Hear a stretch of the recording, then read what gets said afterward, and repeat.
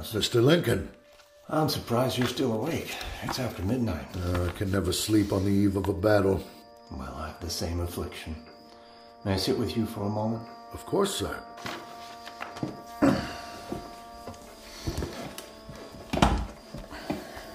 You look worried, Mars. What's on your mind? I'll not mince words, sir. If we lose the battle tomorrow, we lose Pennsylvania. And if that happens. Yes, Washington City will be surrounded. Yes, sir. Quite like it here in the capital, do you? I prefer Ohio. Nothing beats home. I lived in Springfield, Illinois for 22 years. You ever been to Springfield, Mars? No, sir. I recall one occasion where a visitor came to town for the first time. A minister, I think he was. He was to give a series of lectures. When he arrived, he realized that he needed the state secretary's permission to give any lectures, so he walked down to the state capitol and knocked on the secretary's door. Come in, said the secretary. What can I do for you, sir? The minister laid out his request, and the state secretary said, Well, before I give you my answer, tell me this. What are your lectures about? Humbly, the minister replied, The second coming of the Lord Jesus Christ. And the secretary said, Well, don't bother, because if the Lord's seen Springfield once, he ain't coming back. you told me that one before. Oh, have I? You've told it to everyone under the sun, Mr. President. Yes, well, I suppose I have. I do hope that I get to see Springfield once again before I'm. You will, sir. If we fall at Gettysburg, can we still win the war? Well, then I reckon we better win it then. Yes, sir. We will meet them on the field, Mars, and we will beat them back. I pray you're right. But no matter the outcome tomorrow, you must stand firm, even if the worst should come to pass. If the Army of the Potomac should fall, if the rebels should take Washington, you must stay the course. You must. Do you understand? Yes, Mr. President. I will never surrender.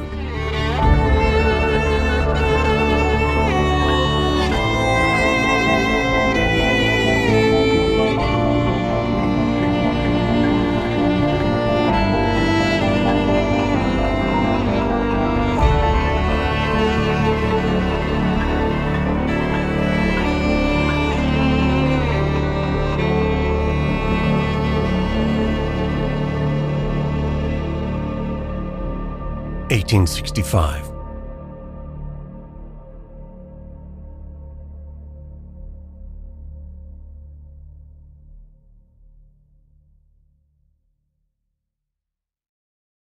The answer is no, Stanton. You said you needed evidence for treason. Now you have it. This isn't evidence. It's the word of Sanford Conover, an accused perjurer, against the President of the United States. Those charges are false, and you know it. In the court of public opinion, Mr. Conover is guilty. He'll be found guilty at trial as well. I've given you my answer, Mr. Stanton, and it's final. If you won't introduce an article for treason, I'll find a congressman who will. Edwin, go easy. Mr. Seward, surely you don't support this course of action.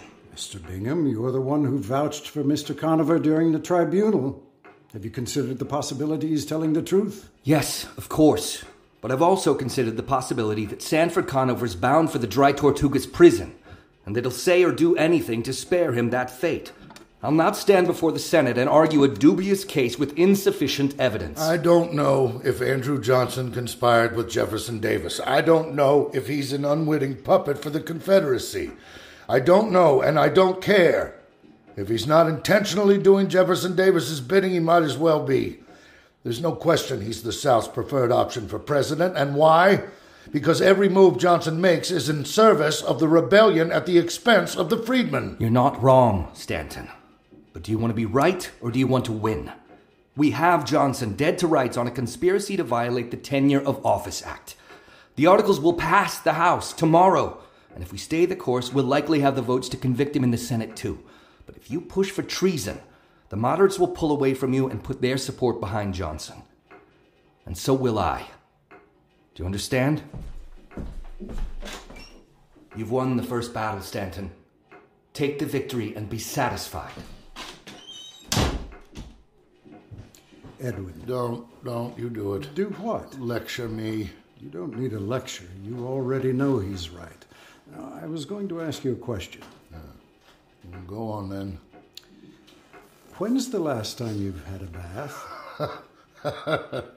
How long have you been locked in your office? Uh, I've lost count of the days. well, it shows. My vanity is the least of my concerns. Not the least of mine. You're positively right.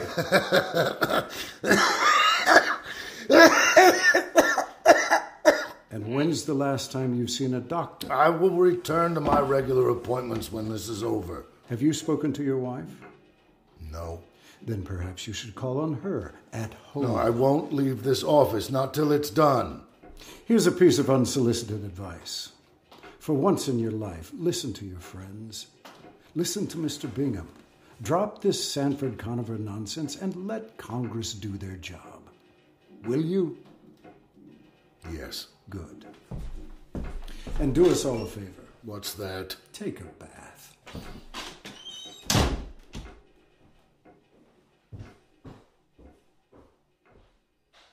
Distinguished gentlemen of the Senate, I am here today to present to you articles of impeachment against President Andrew Johnson.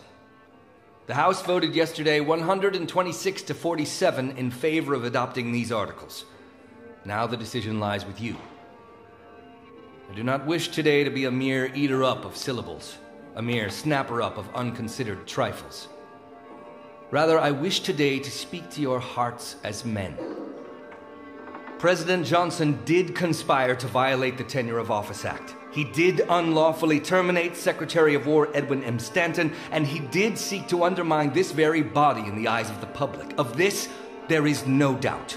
This proceeding is about more than the narrow legal questions we will thoroughly examine these next few weeks. Rather, this is a question over the rule of law, the foundations of our democracy, and the very soul of this country. Since man was upon this earth, there has never been a balder piece of effrontery than that which Andrew Johnson has thrust upon his people. The prosecution stands this day pleading for the violated majesty of the law by the graves of a half million martyred hero patriots, patriots who made death beautiful by their sacrifice, for this country, for the Constitution, and for the law. Do not let their sacrifice, and the sacrifice of Mr. Lincoln, be for nothing. Do your sacred duty. When the time comes, vote Andrew Johnson what you know in your hearts he is guilty, guilty, guilty.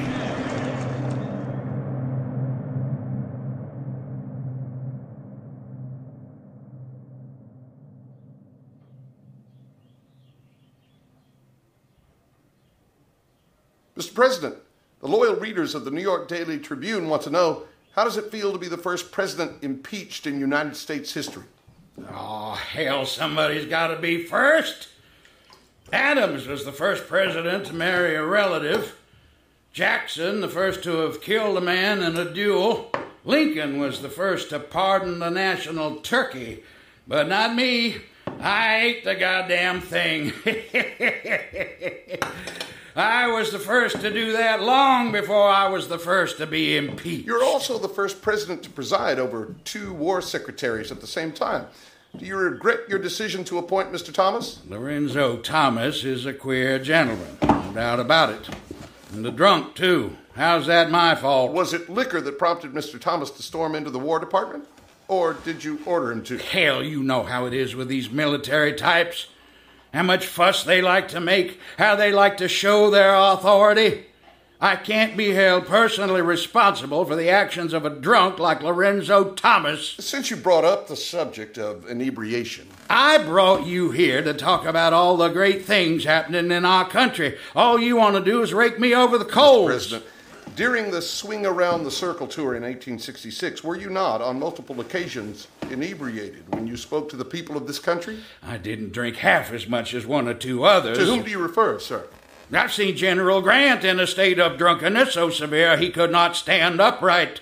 And yet I don't see you and your friends in the press asking him these kind of questions. Mr. President, may I have a moment? I'm in the middle of something here, Welles. Mr. President, you claimed the 40th Congress of the United States was not a lawful body, and that, as such, the 13th and 14th Amendments were unlawful. That doesn't sound like me. You also said on multiple occasions that the white race is superior to the Negro.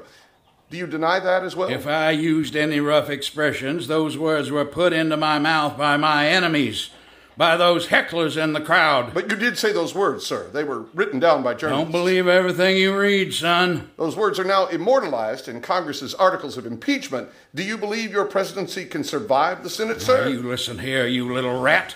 If you ever want to be invited to the White House again. Forgive me, sir, but the President is needed on urgent matters of state. I'm afraid this interview is over. Of course. Secretary Welles. Good day, then. Be nice to me now. Treat me fairly, you hear? I will let you speak for yourself, Mr. President.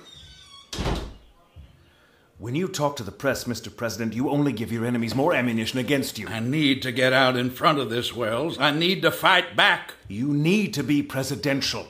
No more interviews, no more firing off at the mouth. Take your case to the people in another way. The anniversary of Mr. Lincoln's death is in a few weeks' time. The city's erected a statue in his honor. Oh, I'm aware. Every morning I see that stony son of a bitch looking down his nose at me. There's a dedication ceremony the morning of April 15th. I suggest you make a speech. Didn't you just say to keep my mouth shut? A prepared speech, sir. I'll write it myself if you like. Sit down, Welles. Have a drink. No, thank you, Mr. President. I wasn't asking. There are 54 senators, Welles. Only nine Democrats. I need 19 votes for acquittal. Three Republicans have already declared their support for you. Which leaves my fate in the hands of seven Republicans. Seven moderate Republicans. Those bleeding hearts wouldn't piss on me if I was on fire. Make the speech, Mr. President. Show the moderate Republicans Andrew Johnson is their president, too. You can write it up, Welles, and I'll deliver it. But I'm afraid a speech ain't gonna get the job done. There are other, more effective ways to persuade senators.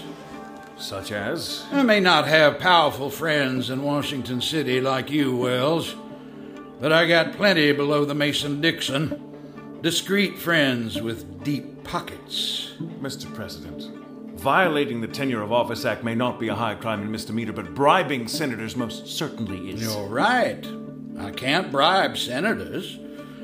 But if my friends down south were to come to my aid, then perhaps I'd be inclined to thank them with a few lucrative government contracts. Get it done, Welles. Mr. President, I strongly oppose this course of action. Perhaps I didn't make myself clear. I'm not asking.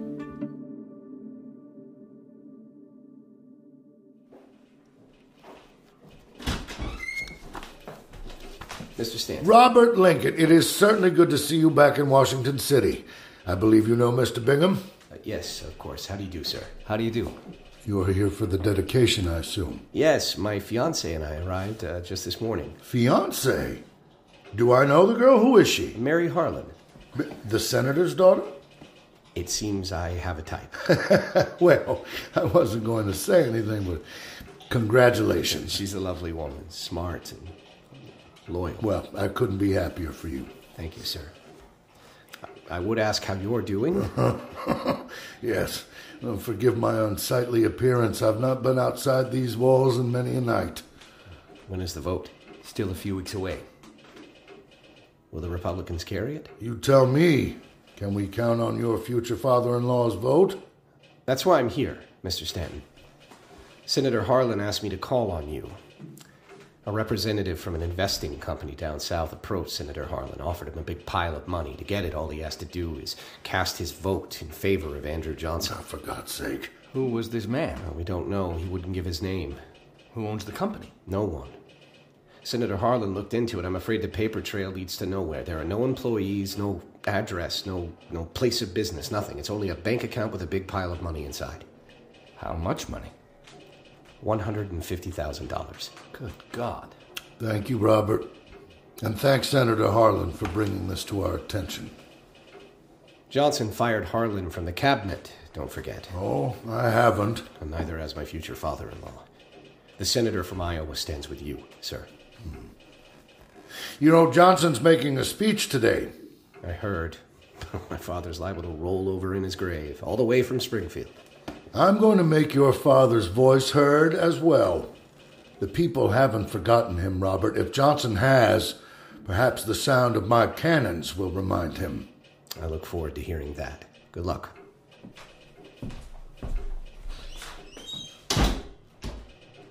How close is this vote going to be? Close. It'll come down to a handful of senators. You need to tip the scales in our direction, Mr. Bingham. Do you have something in mind? Marshal McPhail,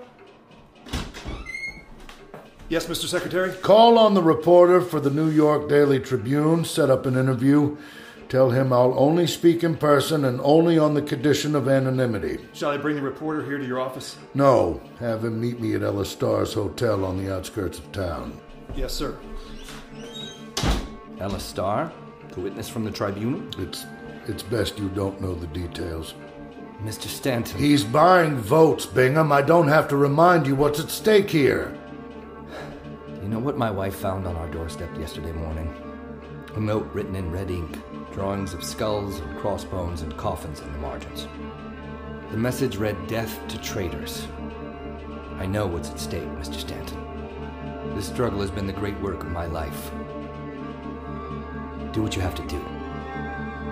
Well, I'll admit. I'm surprised to hear you say that. As Mr. Stevens said on the floor of the House, if we don't kill the beast, it will kill us.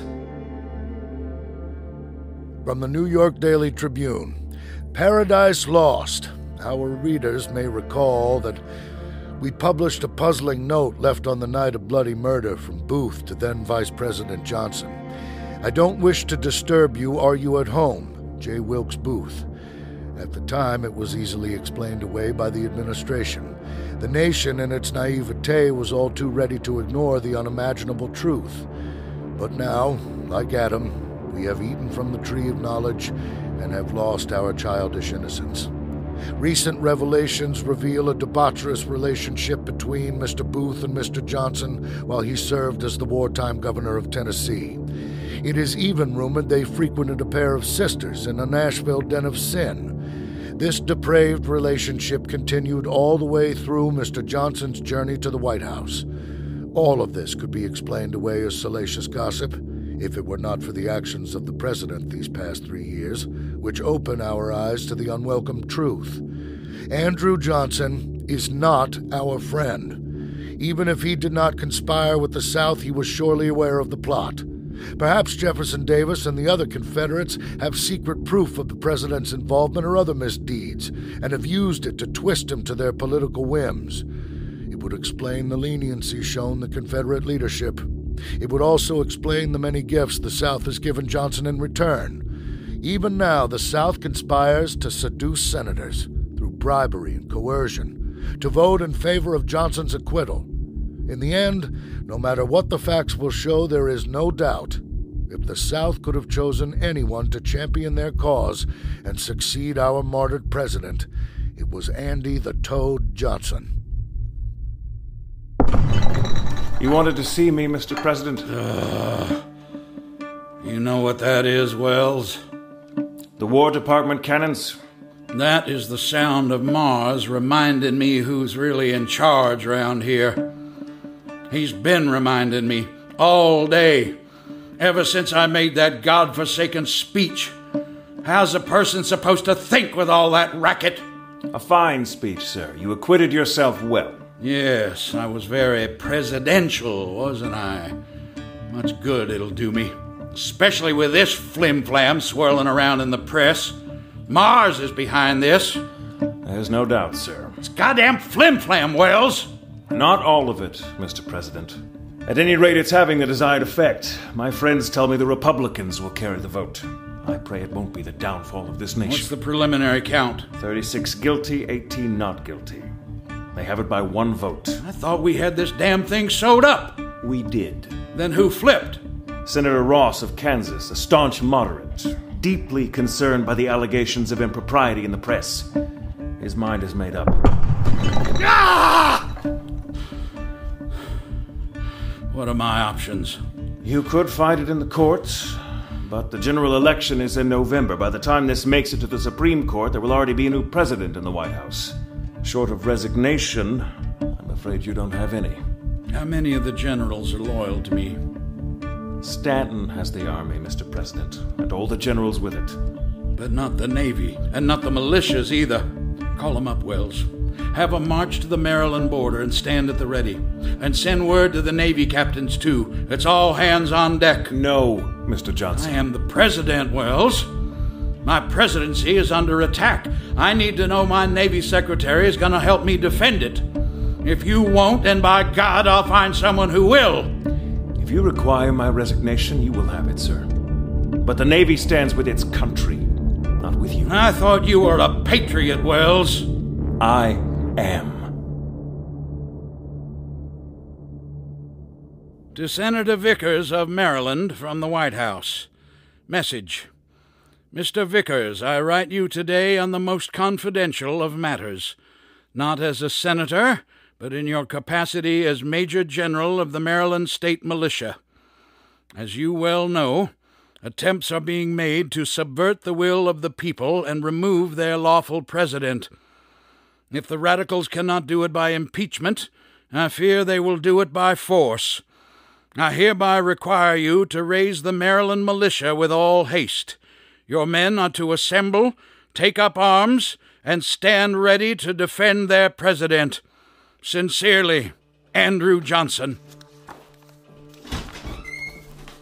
Mr. Stanton? How did you get past the guards? I'm still the Navy Secretary. Well, for the time being. Johnson send you? No. I'm here on my own accord.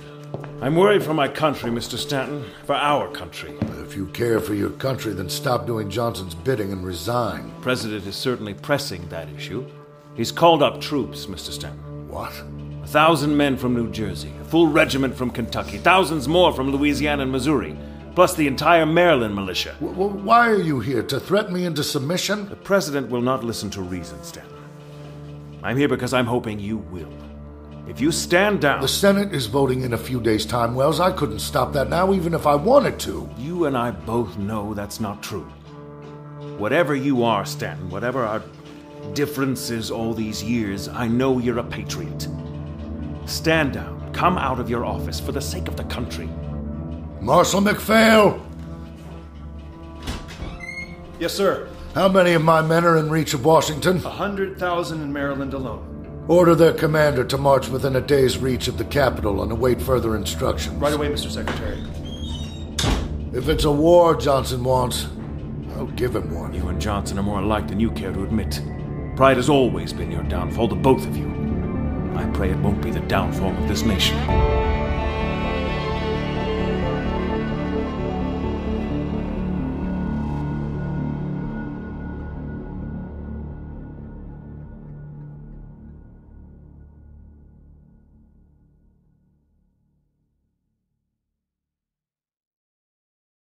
Telegram, May 11th, 1868. The Senate will convene today in executive session to debate the articles of impeachment and declare their intentions on the question of Andrew Johnson's removal from the office of the President. Edwin M. Stanton, Secretary of War. Mr. Seward. Mr. Eckert, have a seat, please. Would you care for anything, Mr. Secretary? We can help ourselves, William. Thank you. I'll leave you gentlemen to it. Thank you for coming. Of course. What can I do for you, sir? I'm worried about him, Major. I'm not a major anymore. I know Edwin Stanton is a thing of your past, and I'm sure you had your reasons for resigning. God knows he's a difficult man. That's one way of putting it. Yes. I've spoken to his wife. She tells me he's ill, that he hasn't seen a doctor since he locked himself away in the War Department. He's not bathing, he's hardly eating, he's wasting away in that office. Ellen has written to him repeatedly, but he will not answer her. What would you have me do? Talk some sense into him. He doesn't listen to me. He never has. You were his most trusted man, Mr. Eckert. You might find this hard to believe, but I think it's likely you're one of the closest friends he ever had. I begged him not to send Mary Surratt to the gallows, and he ignored my counsel. He murdered that woman. Mr. Eckert. I know he didn't strangle her with his bare hands, but when he withheld that request from President Johnson, he put the rope around her neck. Wait, wait, wait. What request? You don't know. No. The Tribunal Commission sent Johnson a clemency request for Mary Surratt hours before her execution. I was under the impression the tribunal held to the death sentence. That's what Stanton wants everyone to believe. If that's true, why didn't Johnson stop the execution? Because Stanton made sure that request never saw the light of day. I know you're worried for him, but with respect, I'm finished with Edwin Stanton. And you should be too.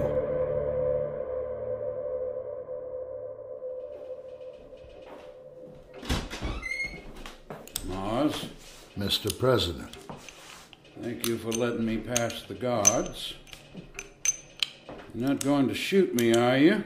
I suppose that depends on what you're about to say. Order your guards outside to stand down. Vacate this office immediately. If you don't, I'll have them arrested, and I'll order the Capitol Police to break down that door and turn their guns on you. Who do you really think those soldiers are going to listen to, Mr. President? Me or.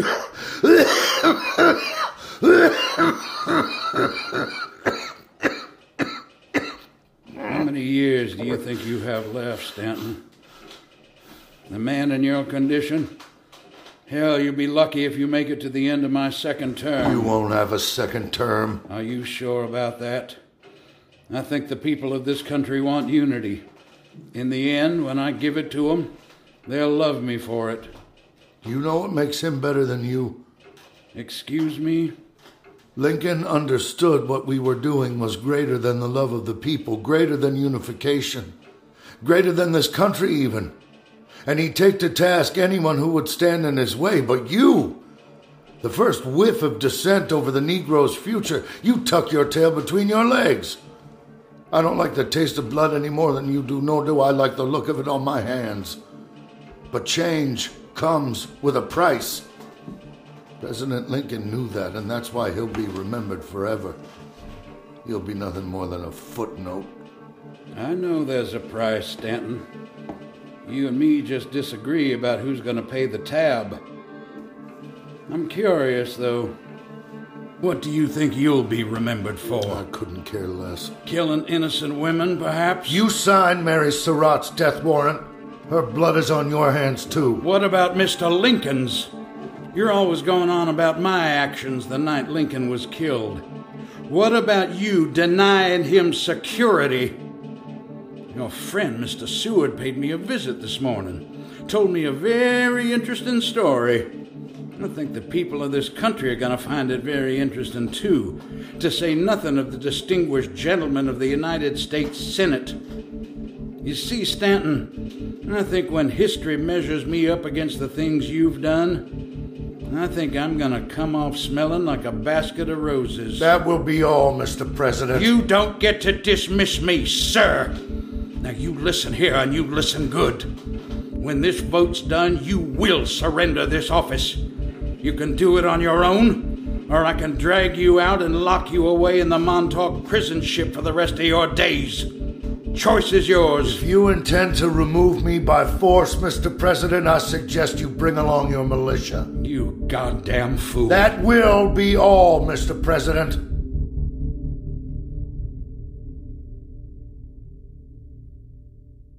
Telegram, May 16th, 1868. The Senate will convene today to vote on articles of impeachment against the so called President, Andrew Johnson. Edwin M. Stanton, Secretary. You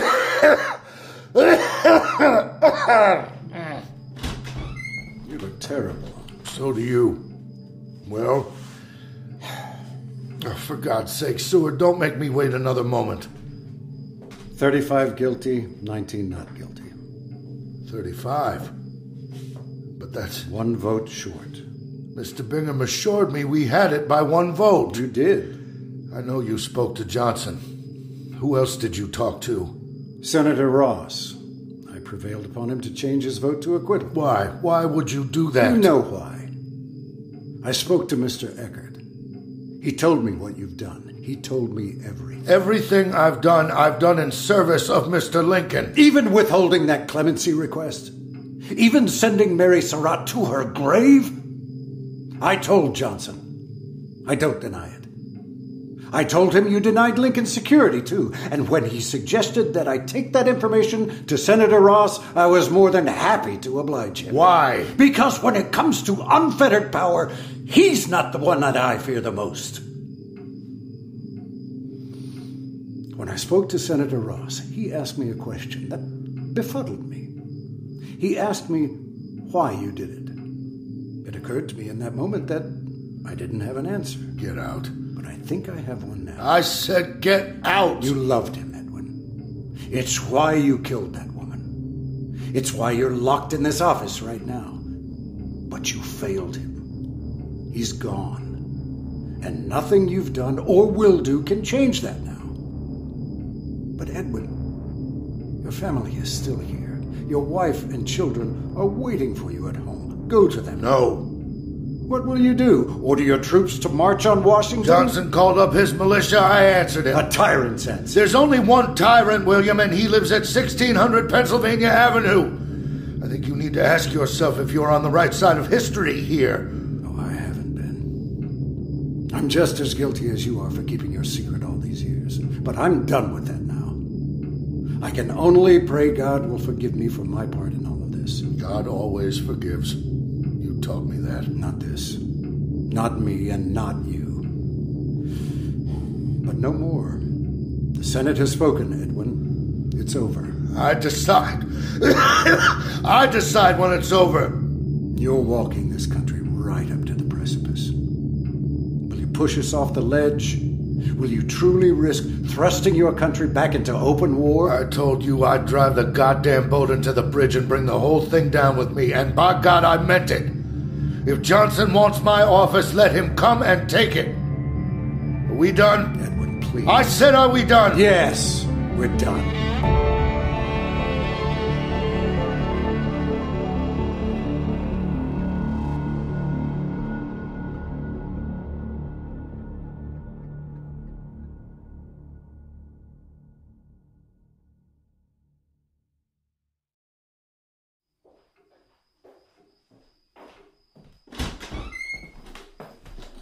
Mr. Stanton.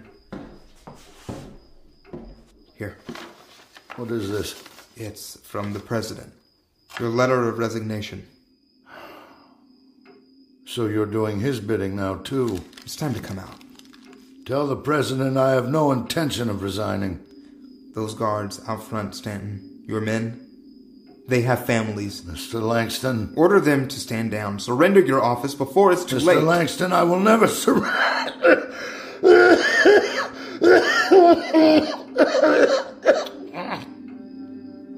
Is that blood? What does it look like? It looks like blood. Then why are you asking? the people have turned on him, Mr. Langston. This impeachment proceeding has sullied his name. We may have lost the vote, but he'll lose the election. That monster will never see a second term. That, in and of itself, is an immeasurable victory. Do you know what they're building in West Virginia right now? A monument to the Confederacy. My people are being murdered in the streets. They're building statues, and you're declaring victory. These people, Mr. Stanton, these rebels, they're enshrining into history the legacy of the rebellion. I'll tear the goddamn thing down myself. I'll just build another one. And another. And another. And another. Until every city, town, valley, and village in the South is littered with monuments. So that generation after generation of white men can be taught the story of how their ancestors lost the battle in the field only to win the war in the bloody aftermath. All the proof they'll need will be found on the faces of those statues. The freedmen have been driven from their lands. The slavers have reclaimed their property. Negro men are murdered with impunity. Negro women raped, beaten, mutilated. The slaveholding class controls the wealth, the land, the intelligence, indeed the very government. They are masters still. The New World is slavery without the chains, Mr. Secretary. This is no victory. Mr. Langston, when I was a boy, Stop. my father made me swear an eternal I said hostility. stop! No more stories. Do you want to sit on the Supreme Court? You can either walk out of this office with your dignity intact and your future with the Republican Party assured, or Johnson's men can drag you out of here in chains and you can live out the rest of your days in a federal penitentiary. Compromise is a very devil. I know, I made a deal with one. Suffer your pride, because if you don't, I'll have lost my very soul for nothing. Mr. Langston. John. What? I'm sorry. Take care of yourself.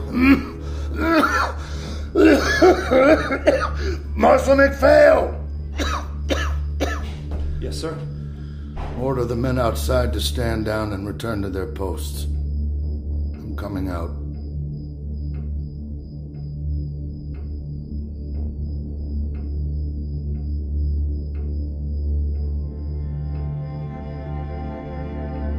December 24th, 1869. Like the sound of the fall of a mighty pine in the stillness of the woods, as an Indian orator once said of a chief of his tribe, comes to us from Washington the news of the death of Edwin M. Stanton. Words cannot adequately express the important part which this extraordinary man so well performed from the beginning to the end of the Civil War. It was the patriotism exhibited by Stanton that marked him out to President Lincoln as his man for the War Office. At this point in our history, January 1862, the prospect for a Union victory was discouraging. In this fearful crisis, Edwin Stanton stepped in upon the scene. He organized war on a grand scale, and with his ferocious, unrelenting quality, brought about a swift end to the bloody conflict. Through this most trying of times, Stanton never failed and never flinched. It may be said by some that he was rough, imperious, despotic, cruel, and offensive in many things. Measured, however, by the hatred of the implacable adherents of the rebellion, in his services to the Union, he stands first in the list of the great champions of the cause. He was also an eminently distinguished lawyer, fully qualified for the position he doggedly pursued his entire career. President Grant appointed Edwin Stanton to the Supreme Court on December 19th of this year. Five short days later, with his wife and children by his side, Edwin Stanton's life would expire. His name will live, and his memory will be revered so long as the enduring principles of union, liberty, equal rights, and law survive in the minds of men. His friends, in view of his services as a public man, are millions in number, while the enemies he leaves behind him, with a few exceptions, are the unhappy mourners over the lost cause.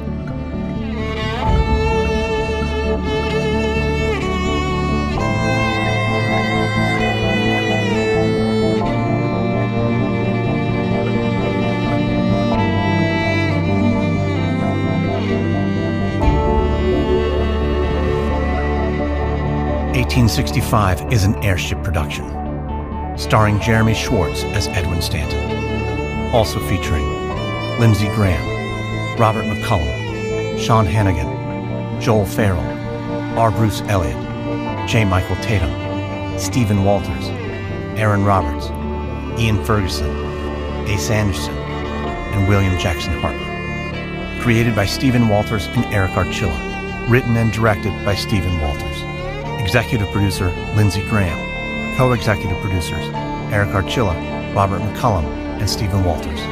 Music and sound design by Lindsay Graham. To find out more about 1865, go to 1865podcast.com or find us on Facebook and Twitter at 1865podcast.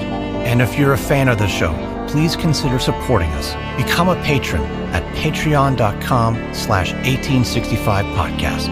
New episodes air weekly, and look for special inside the episode interviews with the writers and producers of the series to find out more about the real history behind 1865.